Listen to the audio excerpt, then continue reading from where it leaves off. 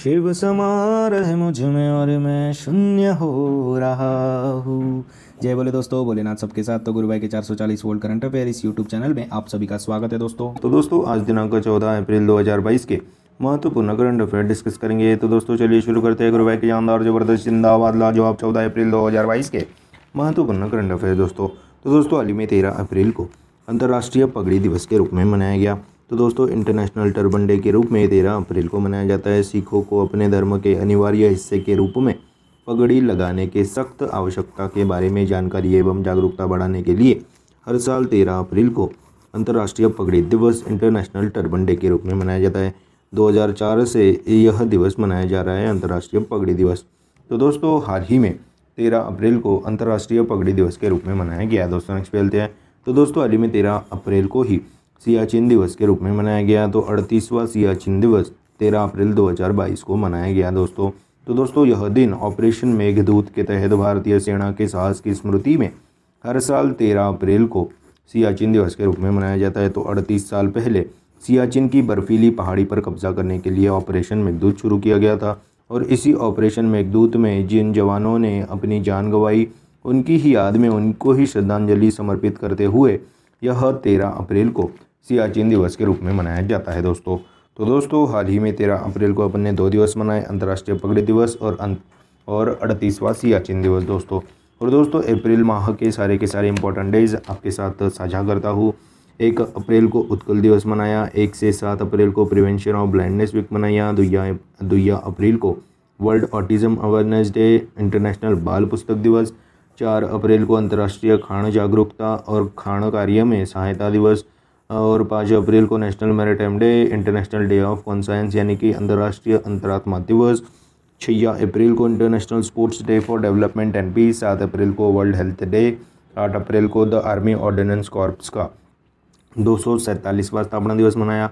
नौ अप्रैल को सीआरपीएफ शौर्य दिवस मनाया। दस अप्रैल को वर्ल्ड होम्योपैथी डे। ग्यारह अप्रैल को world Parkinson day. National safe motherhood day. बारह अप्रैल को वर्ल्ड पार्किंसन डे के रूप में मनाया जाता है, दोस्तों। तो दोस्तों हाल ही में तेरह अप्रैल को दो दिवस मनाए गए अंतर्राष्ट्रीय पगड़ी दिवस, इंटरनेशनल टर्बन डे और अड़तीसवां सियाचिन दिवस अपन ने तेरह अप्रैल 2022 के रूप में मनाया गया। दोस्तों नेक्स्ट खेलते हैं। तो दोस्तों, हाल ही में पहला Khelo India national ranking women archery यानी कि तीरंदाजी टूर्नामेंट का आयोजन जमशेदपुर झारखंड में किया गया। तो दोस्तों, झारखंड जमशेदपुर में पहला Khelo India national ranking women's archery तिरंदाजी tournament का आयोजन किया गया। यह टूर्नामेंट कंपटीशन छैया फेजेस में होगी दोस्तों छः फेजेस में होगी दोस्तों यह कंपटीशन इसका पहला फ़ेज़ अभी जमशेदपुर में शुरू हुआ दोस्तों। और दोस्तों, हाल ही में पहला Khelo India national ranking women's archery तिरंदाजी tournament का आयोजन झारखंड के जमशेदपुर में किया गया। यह इसका पहला फ़ेज़ है दोस्तों। और दोस्तों, हाल ही में खेलो इंडिया यूथ गेम्स का चौथा एडिशन पंचकुला हरियाणा में हो गया। पाँचवा संस्करण भोपाल, मध्य प्रदेश में होगा। और खेलो इंडिया यूनिवर्सिटी गेम्स का दूसरा एडिशन कर्नाटक राज्य में आयोजित किया गया दोस्तों। तो दोस्तों, हाल ही में पहला Khelo India national ranking women's archery तीरंदाजी टूर्नामेंट का आयोजन झारखंड के जमशेदपुर में शहर में शुरू किया गया। दोस्तों नेक्स्ट पहलते हैं। तो दोस्तों, हाल ही में फाल्गुनी नायर जी को E Y entrepreneur of the year award से सम्मानित किया गया।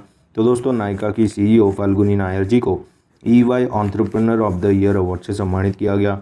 तो दोस्तों 9 जून 2022 को E Y world entrepreneur of the year award में भारत का प्रतिनिधित्व करेंगी दोस्तों फाल्गुनी नायर जी।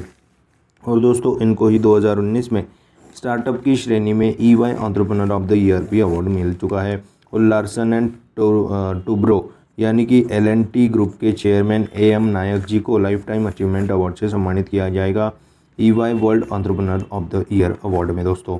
और दोस्तों, अभी Hurun riches self made woman rankings में फाल्गुनी नायर जी दसवें स्थान पे थी।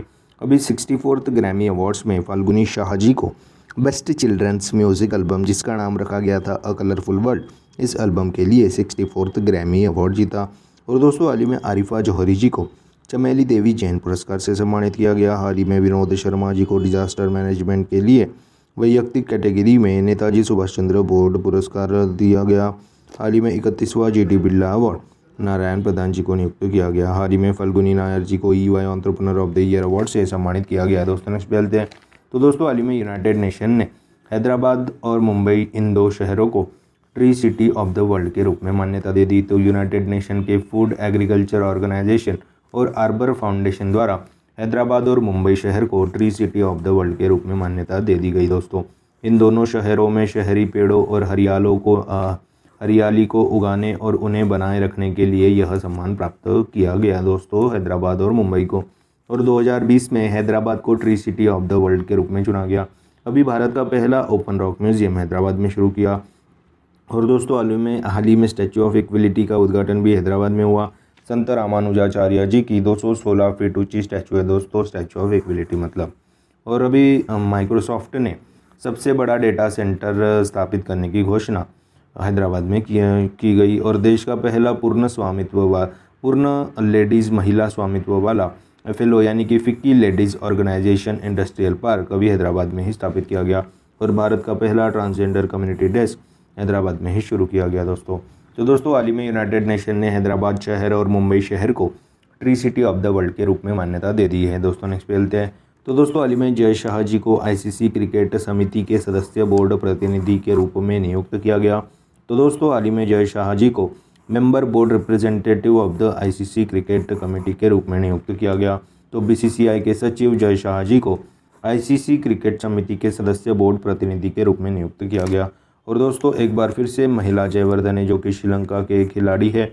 उनको पूर्व खिलाड़ी प्रतिनिधि नियुक्त किया गया है फिर से एक बार। और दोस्तों हाल में हमारे विदेश सचिव के रूप में विनय मोहन क्वात्रा जी को नियुक्त किया गया था। और दोस्तों हाल में विश्वास पटेल जी को national payment council of India के अध्यक्ष के रूप में नियुक्त किया गया था विकास कुमार जी को। दिल्ली मेट्रो रेल कॉरपोरेशन के महानिदेशक डायरेक्टर जनरल के रूप में नियुक्त किया गया था दोस्तों। तो दोस्तों, हाल ही में बीसीसीआई के सचिव जय शाह जी को आईसीसी क्रिकेट समिति के सदस्य बोर्ड प्रतिनिधि के रूप में नियुक्त किया गया है। दोस्तों नेक्स्ट चलते हैं। तो दोस्तों, हाल ही में एयरपोर्ट काउंसिल इंटरनेशनल ने 2021 के लिए दुनिया के टॉप टेन बिजिएस्ट एयरपोर्ट्स की लिस्ट जारी की अभी। उसमें अटलांटा इंटरनेशनल एयरपोर्ट सबसे शीर्ष पे है, सबसे टॉप पे है। तो दोस्तों यूएसए का अटलांटा इंटरनेशनल एयरपोर्ट दुनिया के टॉप टेन बिजिएस्ट एयरपोर्ट की लिस्ट में सबसे टॉप पे है दोस्तों। और दोस्तों, इस लिस्ट में दस एयरपोर्ट टोटल शामिल किए गए, जिसमें से आठ एयरपोर्ट्स तो यूएसए के ही है और बाकी दो चाइना के हैं। और दोस्तों, अभी स्विस इंटरनेशनल एयरलाइन यह पहली ऐसी एयरलाइन बन गई, जो कि सौर ईंधन का उपयोग करने वाली पहली एयरलाइन बन गई। और दोस्तों ही में सिविल एविएशन फ़ील्ड में एशिया का सबसे बड़ा कार्यक्रम विंग्स 2022 का आयोजन हैदराबाद के बेगमपेट एयरपोर्ट में किया गया था। हाल ही में एयरपोर्ट अथॉरिटी ऑफ़ इंडिया ने अवसर योजना को शुरू किया और हाल ही में एयर इंडिया के अध्यक्ष के रूप में एन चंद्रशेखरन जी को नियुक्त किया गया। विस्तारा एयरलाइंस के अध्यक्ष विनोद कन्नन जी बन गए। इंडिगो एयरलाइंस के अध्यक्ष राहुल भाटिया जी बन गए।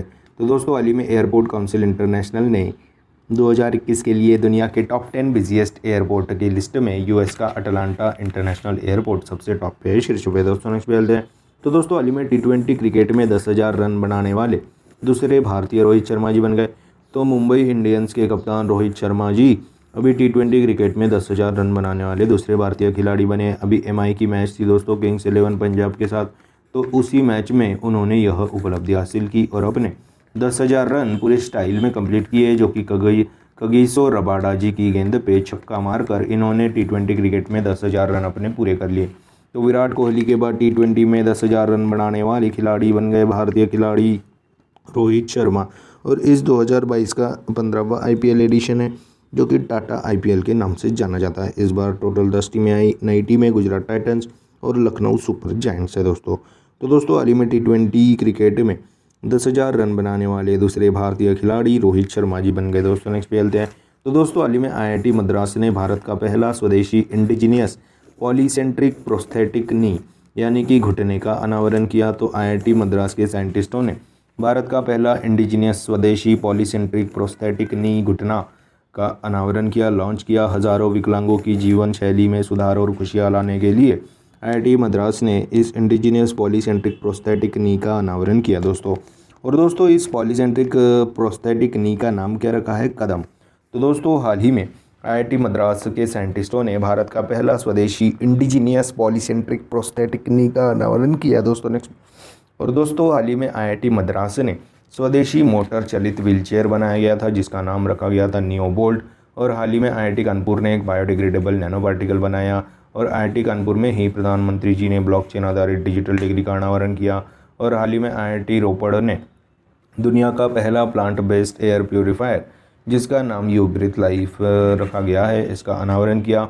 हाल ही में आईआईटी दिल्ली ने सबसे छोटा वियरेबल एयर प्योरीफायर जिसका नाम रखा गया है नासो नाइन्टी फाइव, इसको अभी लॉन्च किया था। तो दोस्तों, हाल ही में आईआईटी मद्रास ने भारत का पहला स्वदेशी पॉलीसेंट्रिक प्रोस्थेटिक नी का अनावरण किया। दोस्तों नेक्स्ट चलते हैं। तो दोस्तों, अली में भारत और यूएस देश के बीच में टू प्लस टू टॉक्स का आयोजन किया गया।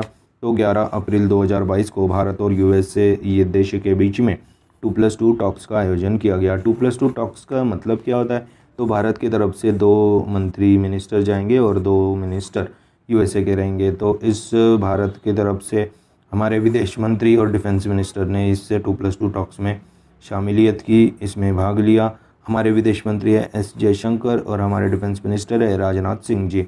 और यह two plus two talks Bharat Quad देशों के साथ करता है और ऑस्ट्रेलिया, यूएस, जापान और ऑस्ट्रेलिया। और दोस्तों, रशिया यह एकमात्र देश है जो कि क्वाड का सदस्य नहीं है तो भी अपन ने उनके साथ टू प्लस टू टॉक्स की है दोस्तों। तो दोस्तों, हाल ही में भारत और यूएसए देश के बीच में टू प्लस टू टॉक्स का आयोजन किया गया दोस्तों। नेक्स्ट पे चलते हैं। तो दोस्तों, हाल ही में वर्ल्ड बैंक ने फाइनेंशियल ईयर 2022-23 के लिए भारत की जीडीपी ग्रोथ रेट 8 परसेंट रहने का अनुमान लगाया। तो दोस्तों, हाल ही में विश्व बैंक, वर्ल्ड बैंक ने वित्तीय वर्ष फाइनेंशियल ईयर 2022-23 के लिए भारत की जीडीपी ग्रोथ रेट 8 परसेंट रहने का अनुमान लगाया गया है। बात अभी वर्ल्ड बैंक की है, जिसकी स्थापना 1944 में हुई थी, जिसका हेडक्वार्टर वाशिंगटन डीसी में है, जिसके अध्यक्ष डेविड मालपास हैं। तो दोस्तों, हाल ही में वर्ल्ड बैंक ने फाइनेंशियल ईयर 2022-23 के लिए भारत की जीडीपी ग्रोथ रेट 8 परसेंट रहने का अनुमान लगाया गया है। दोस्तों नेक्स्ट चलते हैं। तो दोस्तों हाल ही में आईपीएल के इतिहास में सबसे तेज सौ छक्के लगाने वाले हार्दिक पांड्या जी पहले भारतीय खिलाड़ी बन गए। तो गुजरात टाइटंस के कप्तान हार्दिक पांड्या जी अभी आईपीएल के इतिहास में सबसे तेज सौ छक्के लगाने वाले पहले भारतीय खिलाड़ी बन गए। और दोस्तों, आंद्रे रसल दुनिया के पहले खिलाड़ी बने थे, जिन्होंने सबसे तेज सौ छक्के लगाने का रिकॉर्ड बनाया था। उन्होंने छः सौ सत्तावन बॉल खेलकर सौ छक्के लगाए थे। और दोस्तों, इन्होंने हार्दिक पांड्या जी ने 1046 बॉल्स खेलकर सौ छक्के लगाए हैं, जो कि भारतीय द्वारा सबसे टॉप मोस्ट है, सबसे टॉप पे है। और दोस्तों, दुनिया में दूसरे नंबर पे क्रिस गेल है, उन्होंने नौ यानी कि 943 बॉल्स खेलकर सौ छक्के लगाए थे। तो दोस्तों ही में आईपीएल इतिहास में सबसे तेज सौ छक्के लगाने वाले पहले भारतीय खिलाड़ी हार्दिक पांड्या जी बन गए हैं। तो दोस्तों, यह थे चौदह अप्रैल 2022 के महत्वपूर्ण करंट अफेयर्स आज अपन क्या पढ़े, उसकी एक बार रिविजन कर लेते हैं। तो दोस्तों ही में तेरह अप्रैल को अपन ने दो दिवस मनाए। अंतर्राष्ट्रीय पगड़ी दिवस और तेरह अप्रैल 2022 को अपन ने अड़तीसवां सियाचिन दिवस भी मनाया। हाल ही में पहला Khelo India national ranking women's archery तीरंदाजी टूर्नामेंट का आयोजन झारखंड के जमशेदपुर में किया गया। हाल ही में फाल्गुनी नायर जी को E Y entrepreneur of the year award से सम्मानित किया जाएगा 9 जून 2022 को। हाल ही में यूनाइटेड नेशन ने हैदराबाद और मुंबई शहर को tree city of the world के रूप में मान्यता दे दी। हाल ही में बीसीसीआई के सचिव जय शाह जी को आईसीसी क्रिकेट समिति के सदस्य बोर्ड प्रतिनिधि के रूप में नियुक्त किया गया। हाल ही में एयरपोर्ट काउंसिल इंटरनेशनल ने 2021 के लिए दुनिया के टॉप टेन बिजिएस्ट एयरपोर्ट्स की लिस्ट में अटलांटा इंटरनेशनल एयरपोर्ट, जो कि यूएसए का है, वह सबसे टॉप पे शीर्ष पे है। हाल ही में टी ट्वेंटी क्रिकेट में दस हज़ार रन बनाने वाले दूसरे भारतीय खिलाड़ी रोहित शर्मा जी बन गए। हाल ही में आईआईटी मद्रास ने भारत का पहला स्वदेशी इंडिजीनियस पॉलीसेंट्रिक प्रोस्थेटिक नी का अनावरण किया। हाल ही में भारत और यूएस देश के बीच में टू प्लस टू टॉक्स का आयोजन किया गया। हाल ही में वर्ल्ड बैंक ने फाइनेंशियल ईयर 2022-23 के लिए भारत की GDP growth rate eight percent रहने का अनुमान लगाया। हाल ही में आईपीएल के इतिहास में सबसे तेज सौ छक्के लगाने वाले पहले भारतीय खिलाड़ी गुजरात टाइटंस के कप्तान हार्दिक पांड्या जी बन गए। तो दोस्तों, यह थे चौदह अप्रैल 2022 के महत्वपूर्ण करंट अफेयर्स आशा करता हूँ आपको पसंद आए होंगे। अगर पसंद आए होंगे तो दोस्तों लाइक कर दीजिए कमेंट कर दीजिए। और दोस्तों, ऐसे ही day to day current affair classes उनकी रिवीजन क्लासेस और जनरल नॉलेज क्लासेस पढ़ने के लिए गुरु भाई के 440 वोल्ट करंट अफेयर्स चैनल को फॉलो कीजिए सब्सक्राइब कीजिए और वन लाइनर करंट अफेयर्स पी पाने के लिए हमारे टेलीग्राम चैनल को फॉलो कीजिए दोस्तों। Link is in the description box below this is Guru Bhai signing of Jaishankar महाराज दोस्तों। जय बोले।